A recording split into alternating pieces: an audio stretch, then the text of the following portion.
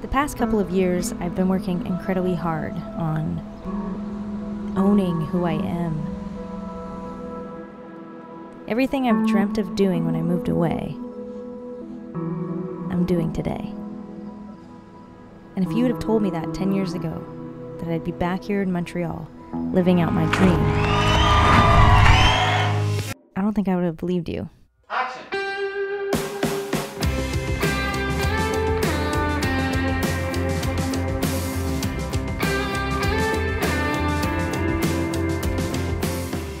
This whole album, I Ain't a Saint, is really about being your most honest and your most vulnerable with others, and most importantly, yourself.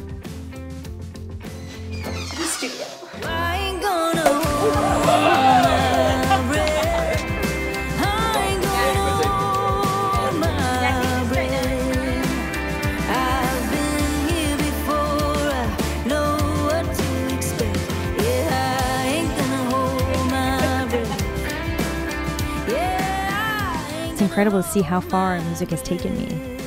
Because I never really knew that music was going to take me anywhere. I was just a little girl writing songs in my bedroom, but as I look back, music has given me some of my best adventures.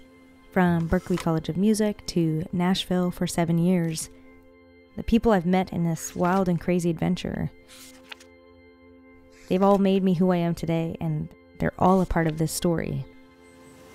I want people to listen to this album and see her perform and just say, Where were you my whole life? You know, like I needed you sooner. I hope that they see like this is just the beginning Yeah. and what we what we're capable of, how hard we've worked. Yeah, I think you know, I think we'll be able to achieve mm. our wildest dreams if we, you know, keep the magic going. Love you. Love you too.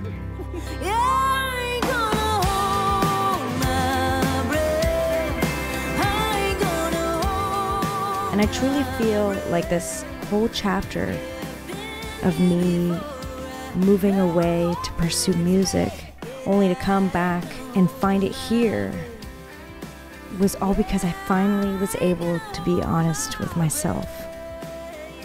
What I want out of life, and with who I am